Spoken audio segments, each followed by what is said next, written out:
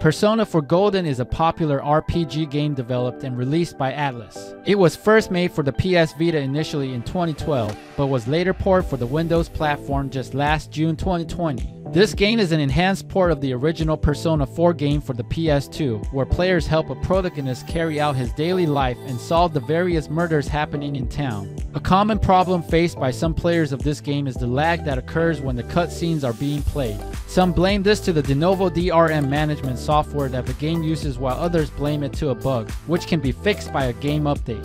Here's what you need to do to fix this. Make sure the game is updated. You should make sure that any updates to the game are downloaded and installed. Open the Steam launcher. You can do this by clicking on it from the Start menu list of applications. Click on Library. This is the second tab on top of the launcher. Look for the Persona 4 Golden game. You should find this on the left pane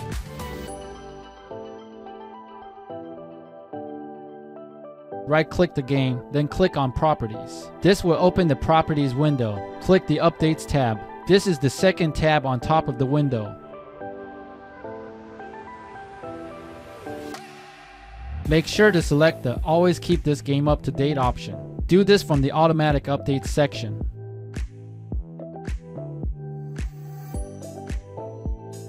Make sure your computer is running on high performance mode. This will ensure that the CPU speed will not lower down. This can improve the performance of your PC. Click the Start button.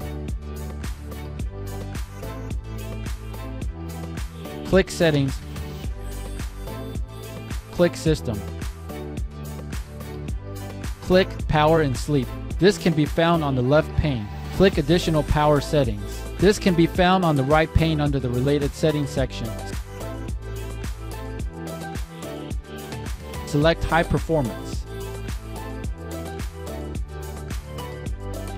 Update your graphics card driver. An outdated graphics card driver can usually cause this problem. Make sure your computer has the latest driver update installed. If you have an NVIDIA graphics card, then here's what you need to do. Right click on the NVIDIA settings icon. Click on NVIDIA GeForce Experience.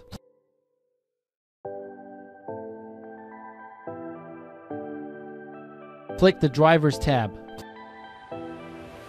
Click Check for updates.